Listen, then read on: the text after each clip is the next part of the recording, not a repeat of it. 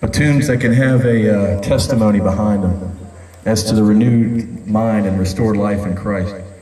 This next song is about somebody that uh, is definitely suffering in the world. And uh, people come up later, they're like, man, I love that song. Bam, it's a segue. When we push the music aside, you talk about the love and grace of Jesus. So anyway, we hope you like this song. It's a song by Kenny Wayne Shepherd. Uh, a lot of people might know who he is. And uh, I hope you dig it. And God bless you guys.